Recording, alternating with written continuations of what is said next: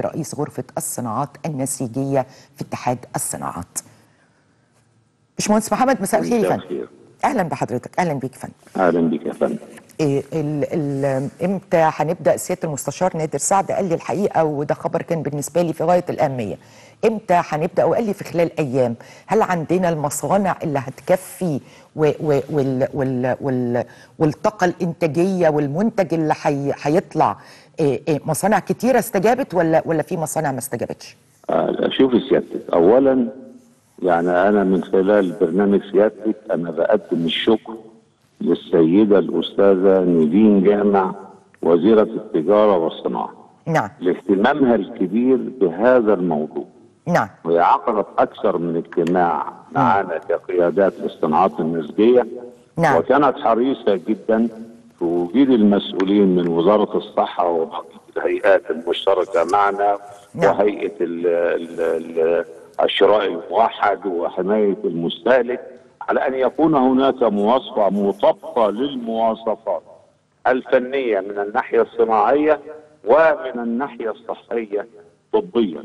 نعم. وعشان كده إحنا النهارده فكرنا ووصلنا آه، بعض زملائنا المنتجين آه، واتفقنا على إنتاج آه، كمامه من القطن 100% هتكون قابلة للغسيل أكثر من مرة عشان نخفف العبء وده كان التوجيه والطلب الرئيسي للسيدة الوزيرة عشان نخفف العبء تكلفة شراء ال- ال- الكمامة نعم. من على محدود الدخل الحمد لله هتنزل إن شاء الله آه. بإذن الله وبتوفيقه وربنا يعيننا مصانع إن كتيرة. نقدر نكافح البلاء اللهم آمين. والوباء اللي ربنا أستاذ محمد مصانع. كتيرة قبلت وهتبدأ في الشغل وبشكل شاء سريع.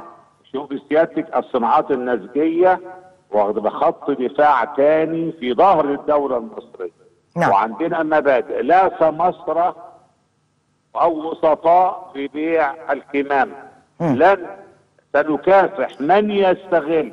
لا هو قال لي إنها بخمسة في جنيه أسعار. خلاص. هو هو سعرها اتحدد خلاص. إحنا اتفقنا مع السيدة الوزيرة على كده كمان هايل هايل. أنا أنا بتكلم بقى على إنها تبقى متواجدة. نعم. بعلنه من خلال سيادتك ان نعم. إن الكمامه هتبقى بهذا بمبلغ 5 جنيه بناء على تكليف ودراسة نعم. تمت بمعرفة الوزيرة شخصيا. وواخدين إحنا النهارده وعندنا طاقات إنتاجية وواخدين. تصريح وزارة الصحة وإنها تبقى صالحة وكله تمام أيوه هو نعم. ده لأن لازم ننزل لل- للمستهلك أو المواطن آه، سلعة أو كمامة مطابقة للمواصفات الصحية نعم. والفنية نعم. مجرد نزول بس كمامات وبس بل لا هي بتبقى هي بتبقى مراحل أستاذ محمد هي بتبقى مراحل. يعني المسألة في في, في الأمور اللي زي دي بتبقى بتبقى مراحل.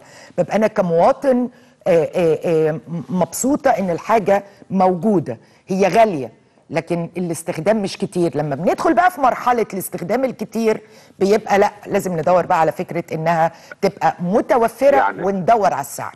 اسمحي لي من يمة الوفرة آه، إحنا كلنا كمجتمع عالمي آه، آه، اتفاجأ بانتشار كورونا مرة واحدة. صحيح صحيح. وكل دول العالم لم تكن مستعدة لا طبيا ولا صناعيا لمواجهة هذا ال- صحيح. طيب، سؤالي لحضرتك. نعم نعم. سؤالي لحضرتك يا فندم بنجهز بنجهز آه، مصانعنا كلها. وفي قطاع الصناعات النسجيه لإنتاج أقمشة الكمامات وتصنيعها حتى تكون في متناول الشعب.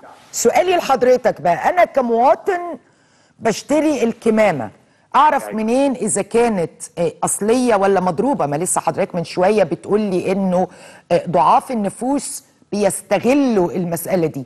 أنا أنا هعرفها إزاي؟